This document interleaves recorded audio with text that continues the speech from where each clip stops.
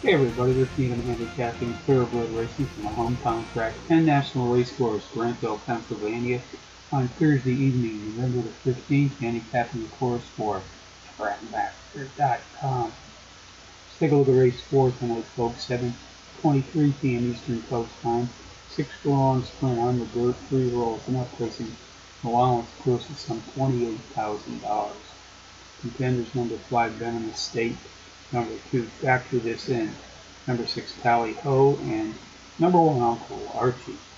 Number five, Venomous State, a six to one shot on top. Folks has turned in a quartet of power runs from his last five outings, hitting the board in three, including the power run win his last time out.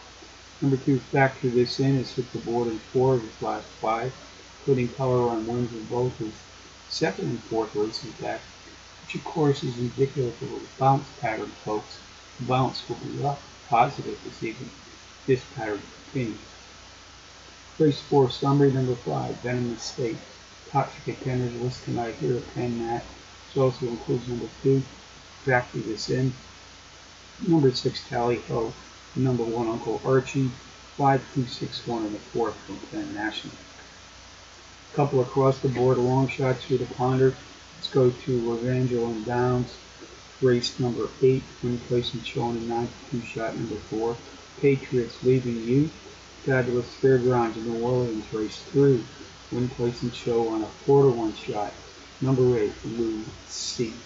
So, handicapping from Penn National on Thursday night. But even for trackmaster.com, reminding you as always to please that was your ad. Not over.